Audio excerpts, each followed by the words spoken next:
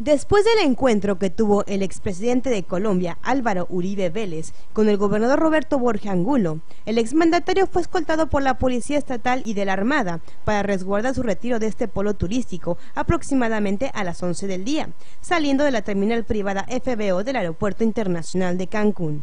Y es que la visita del expresidente colombiano, quien fuera invitado por el gobernador de Quintana Roo, Roberto Borge, que durante la reunión privada previa a la conferencia presidida por Uribe Vélez y después de elogiar las bellezas naturales del Estado, manifestó, entre otros temas, que la recuperación de la imagen del país sudamericano fue esencial para generar la confianza de los inversionistas. Durante dicha reunión, el exmandatario también dijo que ante el crecimiento de las adicciones en Latinoamérica, todos los niveles de gobierno tienen que hacer lo que sea para ofrecer oportunidades a los jóvenes, además de que la seguridad no es una acción de guerra ni un camino hacia la dictadura. La seguridad es un valor democrático, subrayó el expresidente de Colombia, Álvaro Uribe.